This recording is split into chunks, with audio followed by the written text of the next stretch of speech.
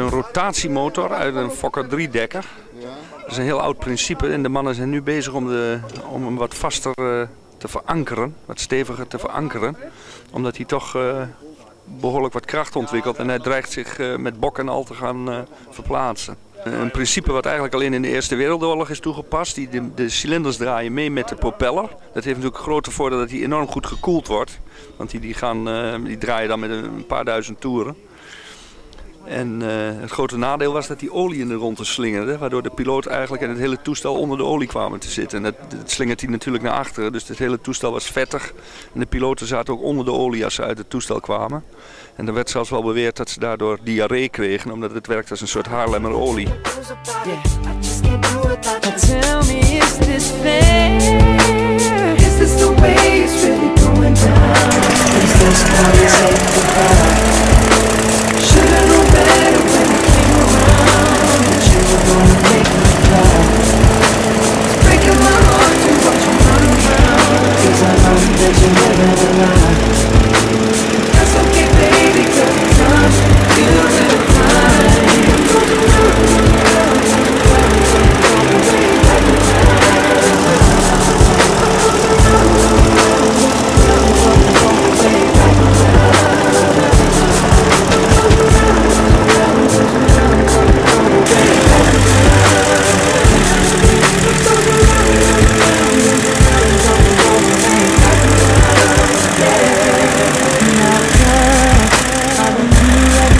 to pain.